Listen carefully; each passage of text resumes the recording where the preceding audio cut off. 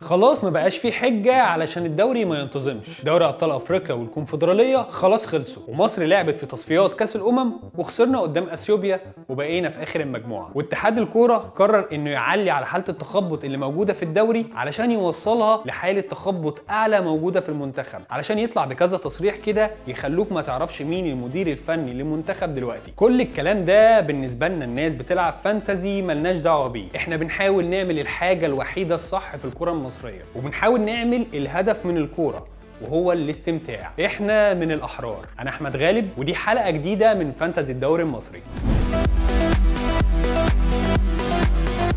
بقالي شوية حلوين غايب عنكم بس اعذروني ده بسبب التوقفات اللي كانت بتحصل. وبعد فترة توقف بيبقى فيه تلاحم الاسابيع ما بنقدرش نصور لأن الفترة ما بين الجولة والتانية بيكون يوم واحد بس. المهم دلوقتي خلونا نتكلم عن أهم جولة في الفانتزي وهي الجولة ال 22 هتبدأ الجولة ال 22 يوم الأربعاء اللي جاي. هتبدأ بمباراة الأهلي وايسترن كومباني الجولة دي هيتلعب فيها 11 مباراة لأن فيها triple الاهلي وال triple زي ما اتفقنا يعني ثلاث مباريات. أول مباراة هتكون قدام ايسترن كومباني والمباراة الثانية هتكون قدام الزمالك والمباراة الأخيرة للأهلي هتكون قدام غزل المحله وفي نفس الوقت هيكون في double للزمالك. وأول مباراة في ال double دوت هتكون قدام الأهلي وتاني مباراة هتكون قدام البنك الأهلي. مباراة ايسترن والنادي الأهلي لو مش متابع كويس كويس فحابب أقول لك على الرغم من إن ايسترن كومباني موجود في قاع الدوري إلا إن أداؤه ابتدى يتحسن شوية مع بداية الدور الثاني وخاصة إن علاء عبد العال بيقفل الملعب والطريقة دي تحديدا بتصعب أي مباراة على الأهلي مع موسيماني. وده طبعا شفناه قدام طلائع الجيش والبنك الأهلي وسيراميكا وحتى إنبي اللي فاز عليه الأهلي في آخر دقيقة. وخلي بالك الأهلي في المباراة دي مش هيلعب بالدوليين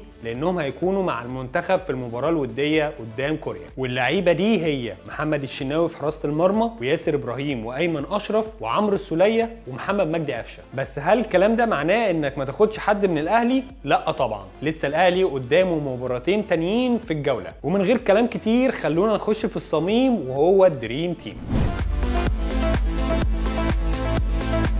في البداية كده مش عايز أقول كليشيهات كورة بس فعلا مباراة الأهلي والزمالك بتبقى خارج كل التوقعات. وأديكوا شفتوا بنفسكم في مباراة الدور الأول خلصت 5 3 والنقط اللعيبة ضربت في وشنا كلنا. أنا عن نفسي هختار من الأهلي ثلاث لعيبة أولهم في خط الدفاع علي معلول. أكتر مدافع جاب نقط لحد دلوقتي في اللعبة بواقع 95 نقطة. وأكتر ثالث لاعب بشكل عام في ال fantasy في الموسم الحالي بعد أحمد السيد زيزو وأحمد رفعت. تاني لاعب أرشحهولك من الأهلي في الجولة دي واحد من اتنين يا إما محمد شريف أو بيرسي تاو. اللي هيبدأ من الاتنين وهيسجل في مباراة إيسترن هيضمن مكانه في المباراتين التانيين في نفس الجولة. اللاعب الثالث هو أحمد عبد القادر. على الرغم من الأداء السيء لأحمد عبد القادر قدام الوداد إلا إننا في اللحظة دي بنستحضر الجملة الخالدة للكابتن فاروق جعفر إن الدوري غير الدولي. عبد القادر عامل أداء جيد مع الأهلي في الدوري الموسم الحالي وممكن يسجل أو يصنع في مباراة من الثلاث مباريات بتوع الأهلي في الجولة ال 22 تاني ماتش في الجولة ما بين سيراميكا وفاركو. وهنا أرشح لك تاخد محمد إبراهيم اللي بيقدم أداء كويس خاصة بعد تولي أحمد سامي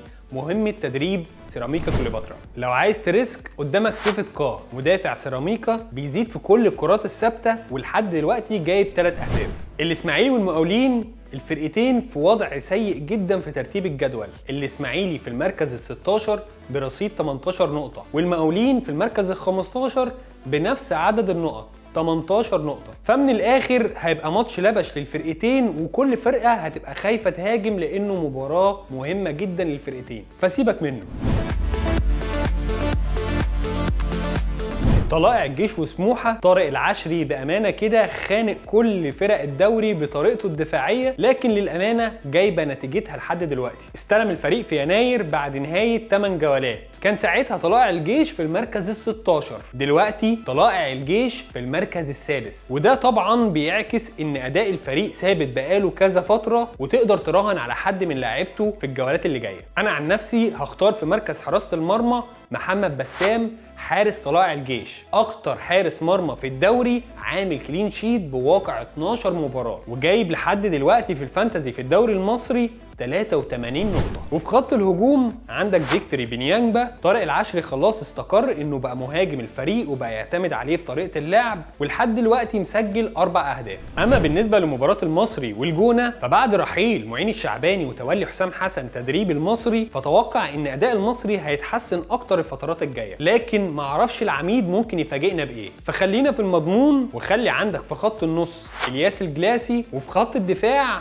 هيثم العيوني. انبي وفيوتشر أنصحكم تتفرجوا على المباراة دي لأن الفرقتين في أحسن حالاتهم دلوقتي. بس لو هرشح لكم حد من الفرقتين فأكيد عندك من انبي جون ايبوكا في خط الهجوم. ولو عايز تاخد حد من فيوتشر فعندك أحمد عاطف عامل أداء رائع الموسم دوت وطبعا أحمد رفعت في خط النص. بس لو هتسألني أنا مش هختار حد من الفرقتين لأنه هيبقى ماتش صعب جدا وهتفرج على الماتش وشكرا كده. وبالنسبة لماتش الاتحاد ومصر المقاصة فزيه زي ماتش الإسماعيلي والمقاولين. ما تختارش أي حد منهم. ولو عايز تختار ممكن تاخد خالد الغندور من الاتحاد السكندري. الماتش اللي بعده هيكون القمة ما بين الأهلي والزمالك. في بداية ال dream team قلت لك أنا هختار مين من الأهلي. أما بقى بالنسبة للزمالك فأنا أكيد هختار بوب ال fantasy الموسم ده وهو أحمد السيد زيزو. ولو عايز تختار لعيب تاني فيعني متاح قدامك بن شرقي والمباراة التاسعة هتكون ما بين ايسترن كومباني وبيراميدز. ودي أرشح لك منها إبراهيم عادل. وآخر ماتشين في الجولة هيكونوا ما بين البنك الأهلي والزمالك. وآخر مباراة في الجولة هتكون ما بين الأهلي وغزل المحلة. وبكده تبقى انتهت مباريات الجولة ال 22 اللي من وجهة نظري دي أهم جولة في ال fantasy الموسم الحالي. ودلوقتي هعرض لكم تشكيل المتسابق اللي فاز في الجولة ال 21 بواقع 69 نقطة. ميمو كان مفعل خاصية نقاط الدكة ودي اللي حسبت له نقاط كل اللعيبة اللي عنده على الدكة. ورهانه كان سليم لأنها لوحدها جابت له 27 نقطة. أما بقى لو بتسأل عن جايزة الجولة ال 22 فالجايزة هتكون موبايل ريدمي 10 سي أما دلوقتي هعرض لكم فيديو الكابتن عبد الله ياسين لاعب المقاولين الحالي وباريس سان جيرمان السابق وهو بيختار التشكيل الأمثل من وجهة نظره في فانتزي الدوري المصري. طب من غير اللعيبة بتاع المقاولين والمدرب بتاع المقاولين فنبدا من شناوي وباك رايت أكرم توفيق والونش وبدر بنون والشمال يعقوبو وفي النص سولية وديانج وعشرة عبد الله السعيد شمال رفعت واليمين آه، بن شرقي؟ أو ممكن يعكس بعض يعني. وفيرود سيف سيف جزيرة. طيب أفضل مدير فني؟ إيهاب جلال إيهاب جلال آه، أنا شايف مدرب كويس وفرقته بي بيلعب آه، كويس على طول يعني. لو بتتفرج على الحلقة وما كنتش مشترك في ال fantasy وعجبتك الفكرة تقدر تكتب على Play Store أو Google Play fantasy في الجول حمل اللعبة وشكل فريقك. وتقدر كمان تلعبها على الموبايل. افتح ال browser عادي واكتب في ال URL fantasy في الجول. وكالعادة مستني استفساراتكم عن أي حاجة مش فاهمينها في ال fantasy اكتبوا لنا هنا في التعليقات عن أي حاجة محتاجين تعرفوها. وهنا تبقى نهاية الحلقة. أشوفكم على خير.